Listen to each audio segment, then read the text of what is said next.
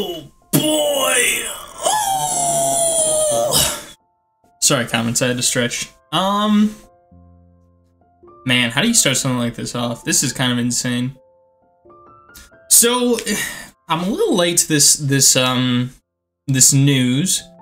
Um, so much so that I I posted some Dragon Ball stuff, not knowing that what happened with Akira Toriyama.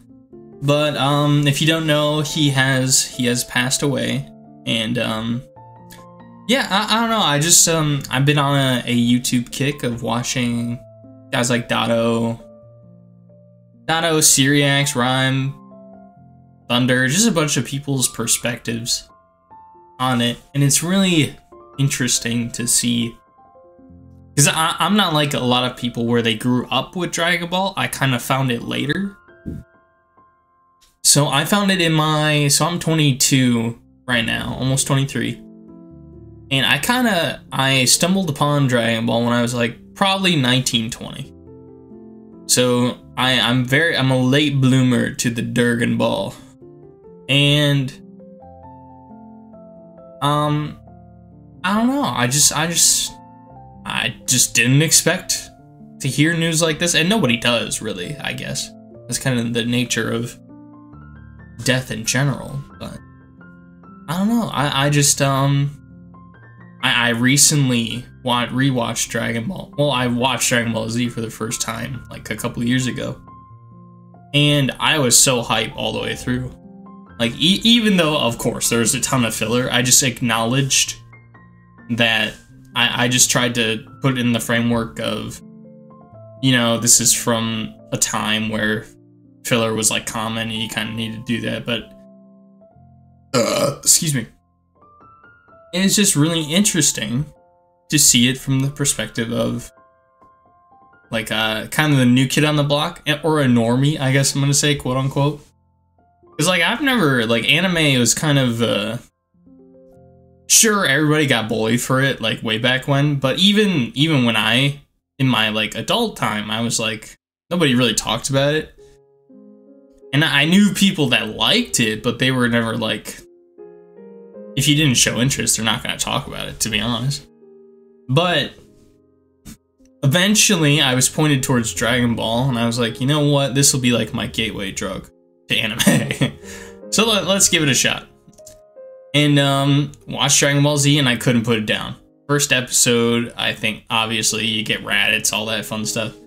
It was just so well done and I didn't know it at the time, but I didn't know that it was based on manga. I just I was unaware, very like naive, I guess, to to how stuff like that worked. But then I started picking up Dragon Ball FighterZ, right? And I, I think a lot of people can echo this this sentiment of they're they're here in some form of fashion, or they're shaped by what Akira Toriyama did just in some in some dramatic way, I would say. And obviously, if Akira Toriyama, like, if he didn't have Dragon Ball Z, you'd find a new thing. But Dragon Ball Z is just such a good. How do I put this? It's such a, like a well. Hmm.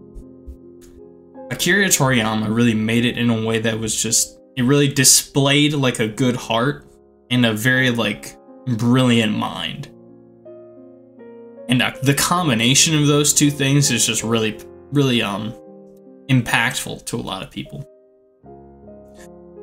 And to this day people people love love dragon ball. Like goku's iconic. So much so that my my dad who's passed away also uh, rest in peace. But when he was like 68 he's like man if, if i were to ask him like who goku is he'd be like oh he's from that that one anime dragon ball z like he would know who Goku is. He's that iconic. And I just think that that's a testament to a legacy left behind. And I think that's really cool. I don't know. I just been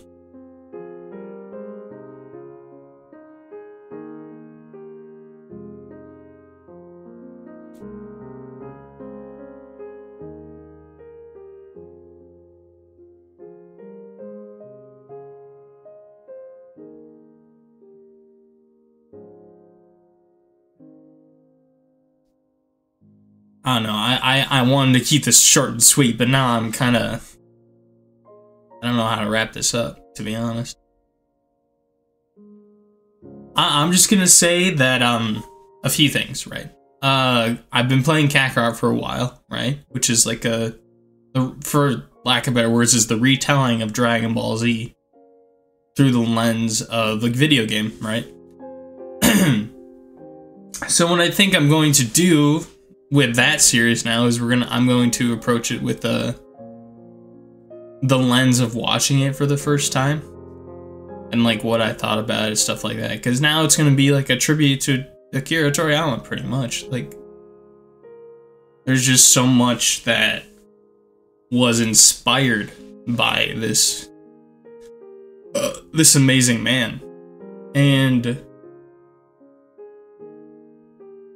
I don't know. He's going to be missed. There's a whole community that supports his his family and loved ones, all those that um, are feeling this loss so much harder than we are. And um,